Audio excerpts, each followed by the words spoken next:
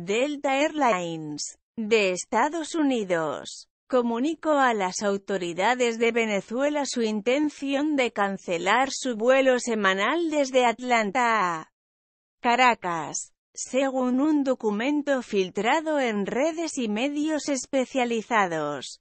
Eso la convertiría en la última aerolínea en abandonar Venezuela tras Avianca.